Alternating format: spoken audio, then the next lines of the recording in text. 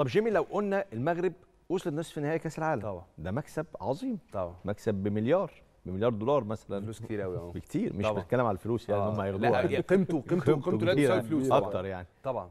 إيه مكاسب المغرب تاني بالوصول لنصف نهائي كأس العالم؟ رقم واحد رقم واحد قبل ما نتكلم على المداخيل وإيه الفلوس وإنه كل هؤلاء اللاعبين خاصة اللاعبين اللي بينشطوا في أوروبا ومعظم ال lineup الأساسي كلهم عندهم عروض. كلهم عندهم وكل كل اللعيبه قافلة تماما لحد بعد المونديال.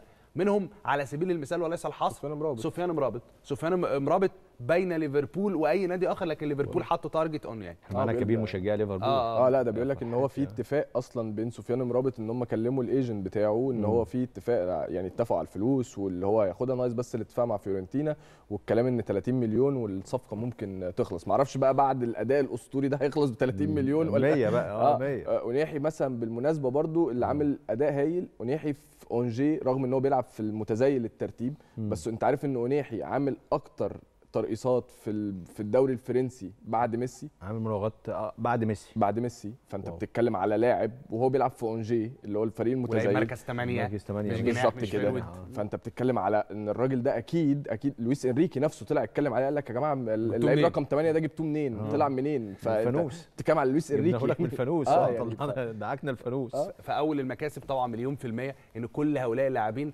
هيطلعوا على الأقل step forward إن هم يطلعوا يلعبوا في أندية في ال class A في أوروبا. ده رقم واحد.